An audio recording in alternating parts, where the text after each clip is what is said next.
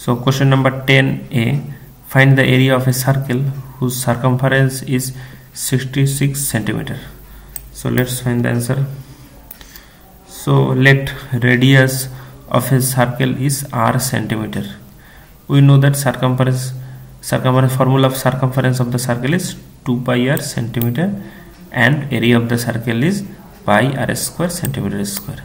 So here given circumference is 66 so circumference by the condition circumference 2 pi r that is equal to 66 simplifying 2 into pi value of pi is 22 by 7 into r that is equal to 66 again simplifying 66 into 7 divided by 2 into 22 so if we divide 66 by 22 the answer will be 3 and 3 into 7 is 21 divided by 2 so radius of the circle is 21 by 2 centimeter.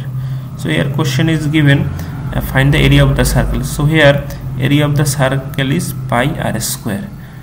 And value of pi is 22 by 7 and value of r is 21 by 2 so 21 by 2 whole square centimeter square.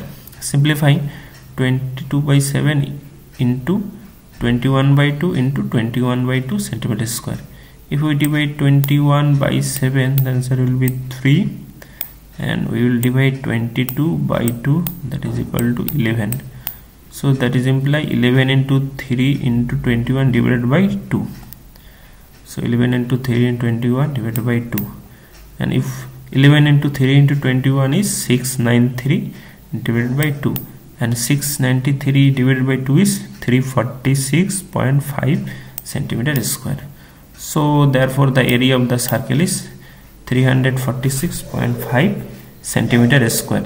So here 346.5 centimeter square is our answer. So if you like this video please subscribe this channel and like and share this video. Thank you